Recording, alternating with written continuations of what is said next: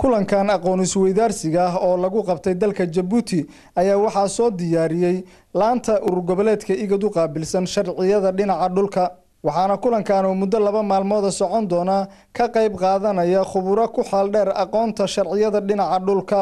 Waxaana kulankaasi ka qayb galay oo furay wasiirka horumarinta deegaanka ee dalka jabuuti maxamed muuse ibraahim balala shirkan ayaa muddada uu socdo ka qaybgalayaashu waxay uga hadli doonaan horumarinta dhinaca deegaanka iyo sidii loo daryeeli lahaa deegaanka loogana faa'iidaysan lahaa. In deegaanka la daryeelo si looga faa'iidaysto khayraadka dabiiciga ee ku jira iyo weliba in la adkeeyo sharciyada dhinaca deegaanka ah si looga hortago xaalufinta iyo nidaam guurka ku yimaada deegaanka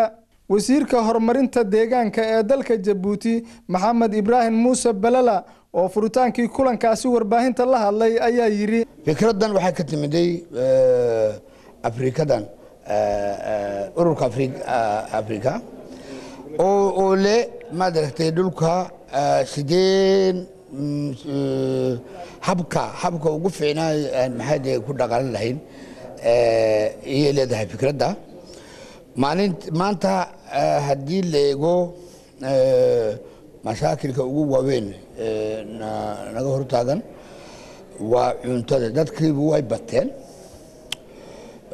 Cuntada soo saarka soo saarka cuntada way yiraadeen. Sideen u maaragtay mashaakilka sidoo xalinaa baa la tagay. Kolkan maxaa cuntada laga hadlayo cuntada soo saarka dhulka wey dhulka laga soo saaraa dhulka si fiican habka ugu fiicnaa haddii lagu dhaqan waayo waxaa laga sugay lagama helayo. Sidaa loo nahaa horumarinta iyo sidaa loo tixgelin lahaa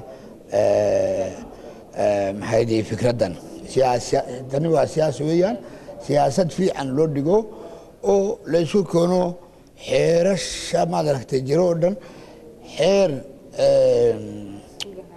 guud ahaaneed iyo xeerka gaar ahaan iyo kuwa internationalkaba la isku diro oo wixii fiican laga soo saaro oo lagu shaqaysto axmed cabdikariin maxamed universal t v jabuuti